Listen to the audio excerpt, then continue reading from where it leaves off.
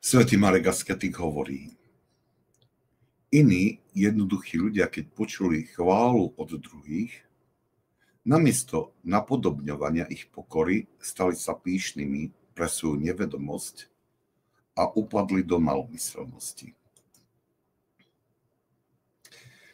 Všetko záleží od stavu srdca. Svetý Marek Asketik pokračuje predchádzajúcom poučení poukázaním na jednoduchých, ľudí, ktorým chýba čnosť pokory.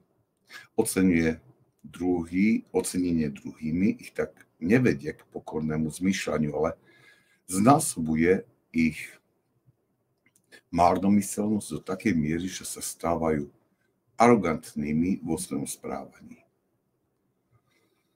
Svoju nevedomosť vnímajú ako čnosť a odmietajú všetko, čo by ju mohlo spochybniť. Svetí otcovia preto radia k patrnosti pri chvále druhých, zvlášť keď vieme o ich náklonnosti k píche.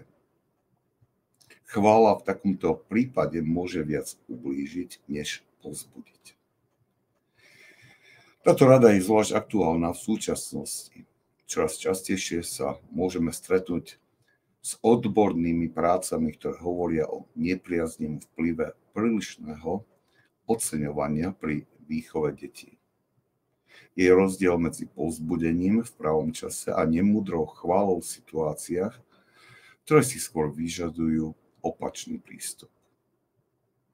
Poučenie svätého Marka Askatika nie je tak len impulzom pre preskúmanie stavu nášho srdca, ale aj pripomenutím zodpovednosti v prístupe k iným ľuďom.